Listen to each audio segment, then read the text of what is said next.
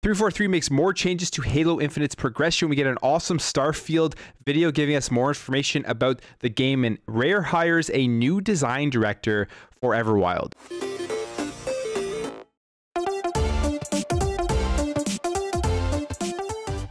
What's up, everybody? Welcome back to another video. If you enjoy daily Xbox content, make sure to hit that subscribe button. The progression for Halo Infinite, the biggest talking point with the multiplayer right now, at least for the things that people don't like, has already had a change giving us XP for every single match that we play.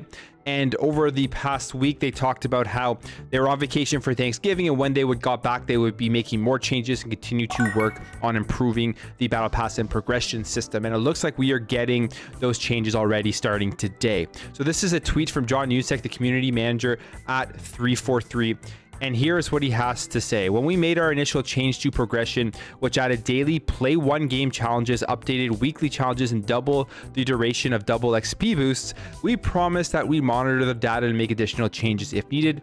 Now it's time to follow up on that. After seeing how XP was earned with those changes, we noticed that players were starting their se sessions with slower payouts than we'd like. To address this, we will be increasing the XP payout for the first six matches of each day.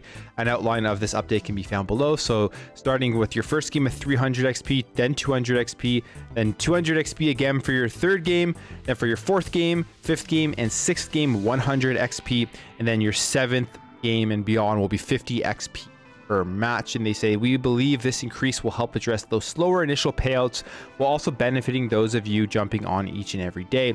We know many of you want even larger changes and we're committed to doing so, but those will take time. We made this update based on data and player feedback and we'll monitor its impact after we push it live tomorrow morning.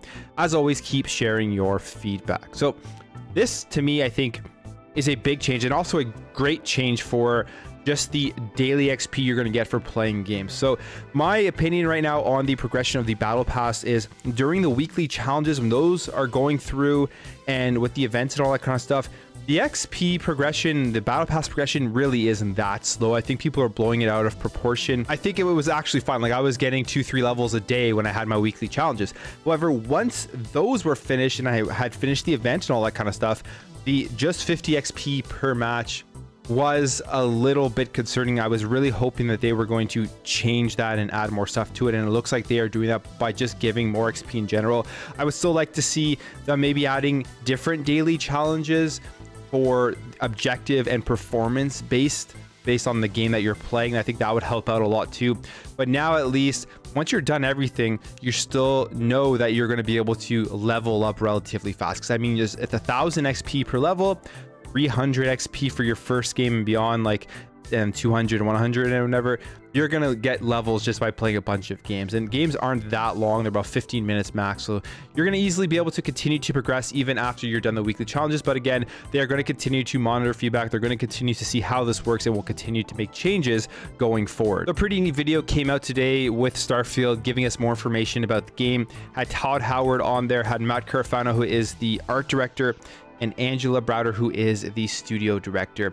And they were talking about Starfield, kind of the scope of it, and how it's going to differ from previous Bethesda games such as Fallout and Skyrim at the same time still have similarities. So the biggest thing to take away from this video is they talked about how the game is going to be more grounded in like realism and when you look at a game like Skyrim, where there's the fantasy, there's the magic, all that kind of stuff. And they talk about how they're building their games to be just games that you get lost in, which I mean, every Bethesda game is like that. And how it's not just about how long you can actually play the game, but what you do with it in your own world, how you make it your own. So that's pretty cool to see. I mean, nothing really unexpected from a Bethesda game overall. Talked about how much detail is going into the game from like designing the food you eat to the mugs to just a bunch of other little trinkets within the game. They also go over how there's going to be like two walkout moments, like you know when you walk out of the Fallout shelter and then you walk into the world in Skyrim and all that kind of stuff. And he hints that there's two of them this time with Starfield, so it's going to be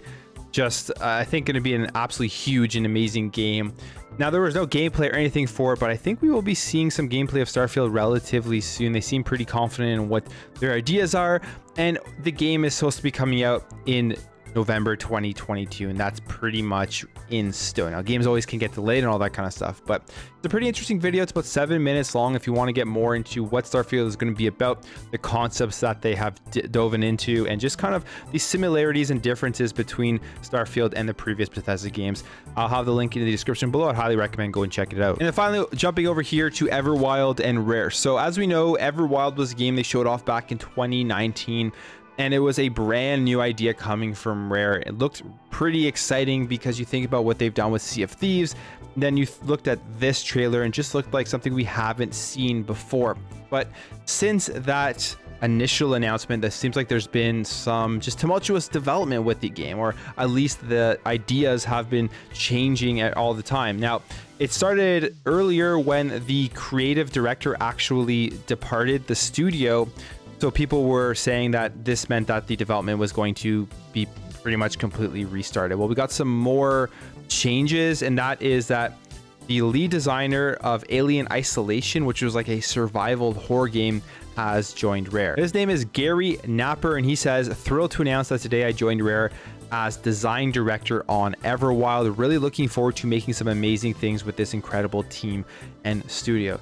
Now it's interesting because the previous game he worked on, like I said, survival horror, completely different than I think that we what we would expect from Everwild based off of that first trailer that we showed. So this game could be just moving in a completely opposite direction than what a lot of people, I guess, were expecting or were thinking it was going to be. Now, when it comes to the overall development, Matt Booty touched on the development of Everwild a couple of months ago or last month, and he had this to say pretty much saying that they're not going to want to show anything until they have something special to show but specifically saying when you look at it from the outside when you hear words like reset and maybe restructure i'll just say that those are probably a little more definite and a little more extreme than what really happens as a game comes to life. But i don't know what to think. This game probably has taken a step backwards they're reevaluating their ideas, they're reevaluating the artistic, creative direction that they want to go with the game, and they're going to continue to work on it and they're going to show something when they have it. And that's completely fine. I just hope that this isn't an idea, this isn't a game that never makes it to us because it seems like there's some probably incredible ideas out there that are just having trouble locking one down and making it come to life. So I'm excited to see eventually when this game comes out. I think it could be very cool, brand new IP, looks super creative, colorful, all that kind of stuff. And you never know, all of this change, all of the stuff that's going on could end up making this game way better than it would have been if they would have just continued down the original route that they had planned. But anyways, guys, that's it for me. Let me know what you think about this in the comments below. What do you think about these XP updates that Halo is bringing over today? Let me know if you watched that Starfield video and what are your thoughts on that. And Everwild, do you think it is in bigger trouble than we expect? If you enjoyed this video, make sure to hit that thumbs up button. If you're new here, if you enjoyed what you saw throughout this video, I'd really appreciate you hitting that subscribe button, help this channel grow, help grow this community so we can have great conversations in the comments below. Thank you for watching. Thank you for your support, and I'll catch you in the next video.